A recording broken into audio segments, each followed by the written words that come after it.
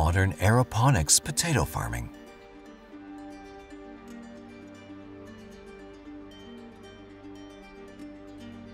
Aeroponic potato production is a modern and efficient method of growing potatoes using a closed-loop mist-based system.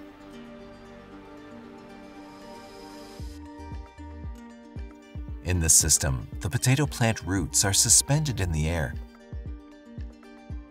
and regularly misted with a nutrient-rich solution, providing the plants with all the necessary nutrients and oxygen they need to grow. This method of potato production is highly water efficient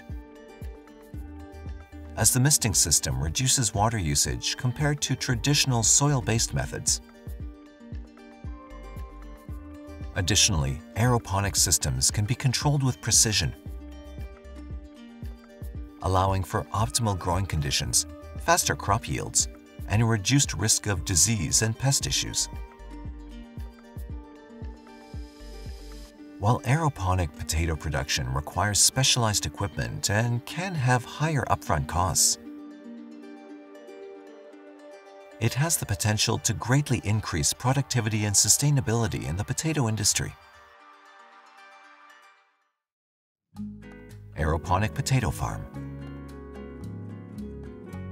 Aeroponic is a new way of farming potatoes that helps the crops to grow faster with restricted use of water with other means practicing aeroponic farming is beneficial in many ways, such as land shortage is no longer a problem and has increased production 10 times. It requires less amounts of nutrients and it reduces the cost. In the aeroponic process, the plant roots are hung in the open air under manageable conditions to restore the soil with artificial foam or plastic splints.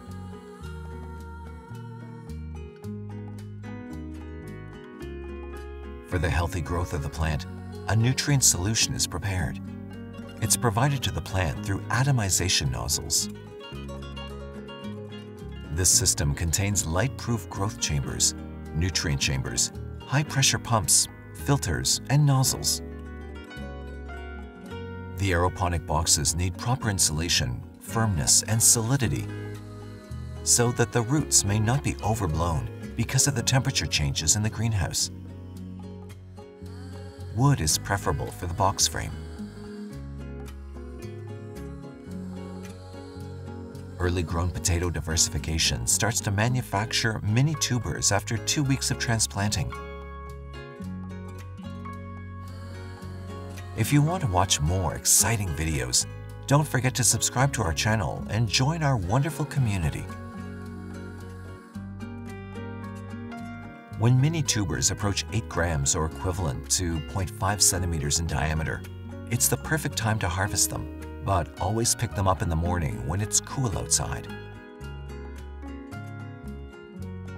However, detach all the mini tubers with a greater diameter than 1.5 centimeters during the first picking up to upgrade the start of more tubers.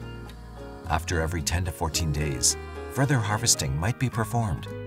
The harvests remain to continue until the plant approaches six months old.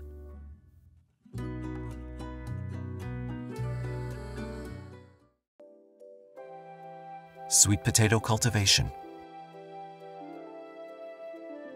The sweet potato planting machine is a highly advanced technology that automates the process of planting sweet potato tubers. It features a precision planting mechanism that ensures accurate spacing and depth reducing the need for manual labor.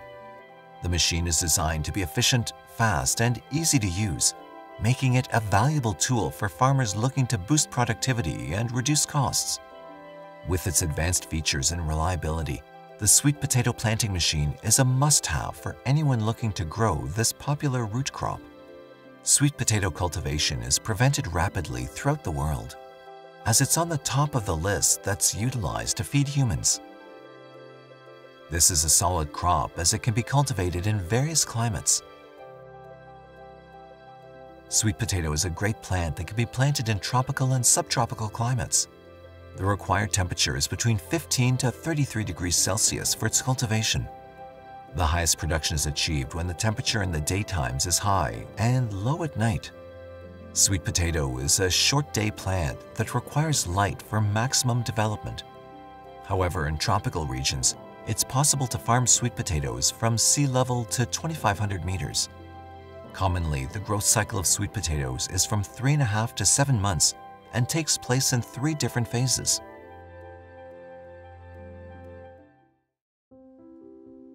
Potato chips processing. After harvesting, the potatoes are transformed to preheated remodeling rooms in 70 to 75 degree Fahrenheit.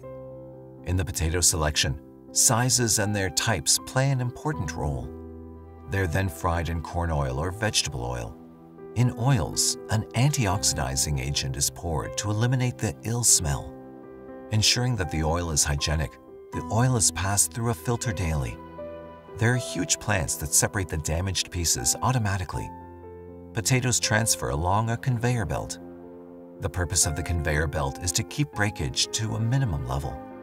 Then potatoes are transferred into a helical screw conveyor that throws all the stones out and pouches the potatoes to the auto-peeling machine. When peeled off, potatoes are washed with cold water.